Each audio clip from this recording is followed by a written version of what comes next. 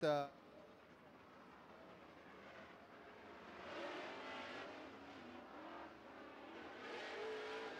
video production is brought to you by Packin' Away Mobile Storage. We bring the storage unit to your door, pack it at your place, and store it at ours. Packin' Away Storage is a division of Highway Number 1 Self Storage. We are proud supporters of the Number 2 NLSA Sprint Car and Number 20X Modified.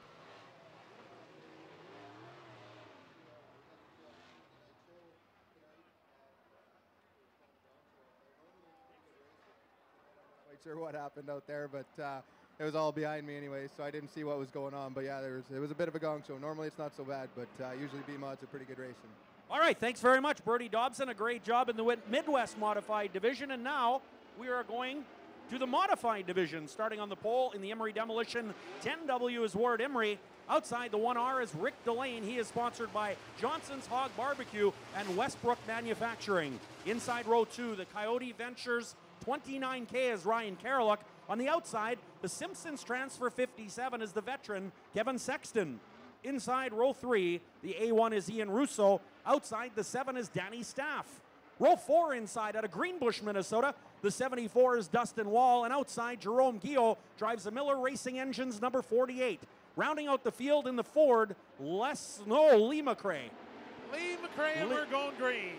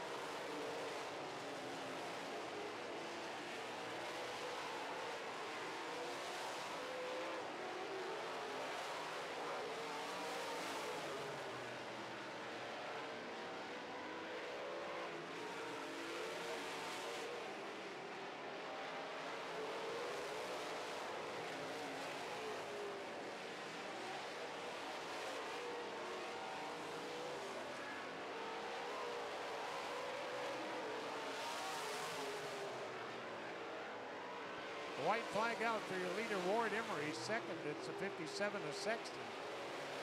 Third, it's Delane. Fourth, the A1 of Russo. Rounding out the top five, the 29 of Karalik. At the moment, we have a lap to go. Ward Emery started up front, and now you know why we invert the field. It's one thing I'll give Wazoda credit for. There's your winner, Ward Emery, the 10. Second spot goes to Kevin Sexton. Third spot to Rick Delane. Fourth to the A1 of Ian Russo. And rounding out the top five, the 29 of Ryan Karalik. What a great race. Well, joining me up here in the booth, a girl that drove the car to victory tonight. Never drove that car before. Congratulations to you, Amber. That must have been fun. Thanks. I had a lot of fun in that car. It was definitely very fun. It's a different, a different brand than yours too. Is it a lot different to drive or not really? I run a Bailey chassis, and tonight I ran a Henchcraft, and I definitely noticed a bit of a difference. In the heat race, it is definitely a change, and uh, in the feature, I just adapted to it um, pretty decent. So uh, I uh, definitely am thinking about changing up chassis